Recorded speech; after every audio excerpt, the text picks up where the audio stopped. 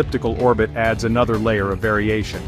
When the moon is at its closest point, perigee, 363,300 kilometers, tidal forces are stronger, and they are weakest at its farthest point, apogee, 405,500 kilometers. A supermoon, a full moon at perigee produces particularly large tides. In the distant past, the moon was much closer to Earth. About 4 billion years ago when the first life emerged, the moon was only 138,000 kilometers away. At this distance, tidal forces were around 20 times stronger than today, creating massive tidal ranges of hundreds of meters. These extreme tides would have regularly filled and evaporated tidal pools, concentrating amino acids and other building blocks of life.